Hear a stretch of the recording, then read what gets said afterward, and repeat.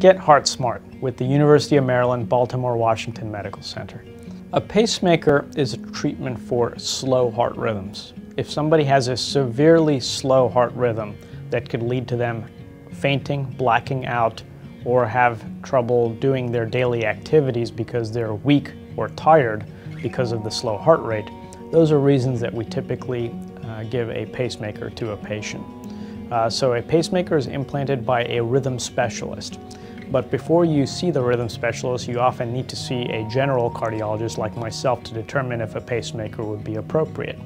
Sometimes slow heart rate can be due to medications. If it's due to medications, our first step is we stop the medication that could be causing the slow heart rate. If the slow heart rate gets better, many times pacemakers are not needed. If the slow heart rate does not get better in that situation, then we would refer you to the rhythm specialist to get a pacemaker implanted.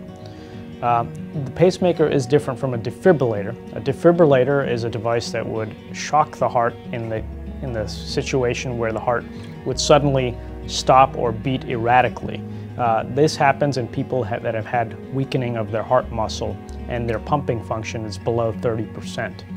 That's, uh, that's the situation where we would require a defibrillator. But a pacemaker is for slow heart rate or pulse rate, not, heart, not slow pump function but slow pulse rate, and that's the difference.